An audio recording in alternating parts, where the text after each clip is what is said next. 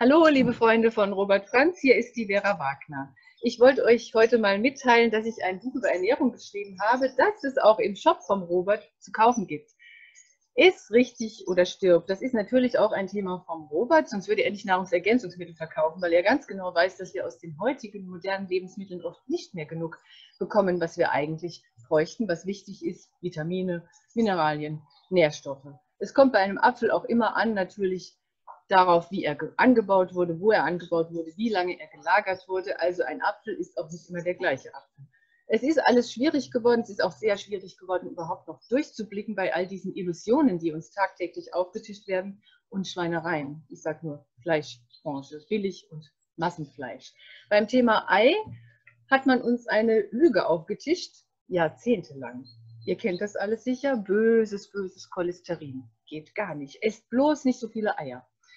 Heute wissen wir längst, dass das mit dem Cholesterin überhaupt kein Problem ist. Das war ein geschickter Coup der Zuckerindustrie, die praktisch das Thema auf Fett umgelenkt hat. Und so sind dann ganz viele Menschen an Herz-Kreislauf-Erkrankungen gestorben, nicht durch Eier, sondern durch Zucker.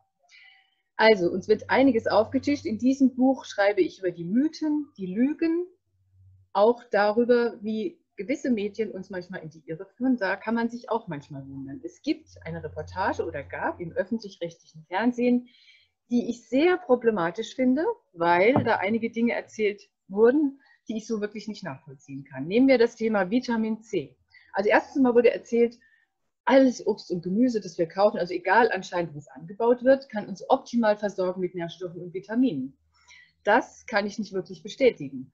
Dann wird uns erzählt in diesem Film, der wie so eine Verkehrserziehung aufgebaut ist, wenn Sie Ihren täglichen Vitamin C-Bedarf von 20 Milligramm decken wollen, dann können Sie das mit zwei Portionen Pommes tun.